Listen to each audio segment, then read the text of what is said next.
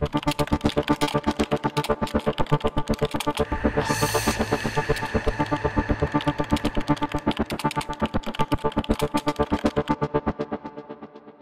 La Cámara Nacional de Comercio en Tuzlachico reportó un aumento de un 50% en sus ventas durante las vacaciones de diciembre y los primeros días de enero. El presidente de esta Cámara Empresarial, Carlos Carrasco, declaró que enero todavía no se ha sentido la cuesta, pero siguen trabajando para darle descuentos a los clientes que siempre llegan en busca de la gastronomía que ofrece el corredor de restaurantes en la frontera sur.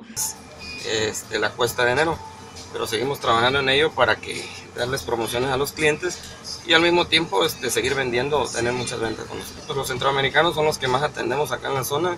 Ya ves que nosotros lo que es Canaco no solamente abarca lo que es restauranteros, sino que todo tipo de empresas que tenemos. Mira, diciembre la verdad sube un 50%. La verdad, y ahorita ya baja un poquito más, pero todavía tenemos influencia de los, de los centroamericanos y más que nada también de la gente acá de la zona, que es los que más nos, nos consumen. Los centroamericanos son los que más atendemos en esta frontera. Afortunadamente tuvimos un repunte del 50% de guatemaltecos y el resto fue de la población de la zona que visita.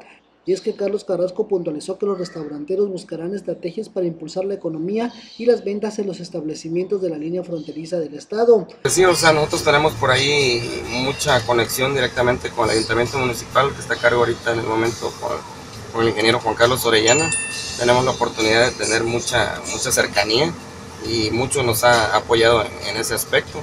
Y pues el comercio más que nada ahorita lo tenemos que levantar en la zona, que realmente está un poco apagado, gracias a Dios ahorita tenemos la oportunidad, seis meses tener a mi cargo lo que es Canaco aquí en Tuzlachico y hemos ido implementando otras cuestiones para que vayamos subiendo un poquito de nivel.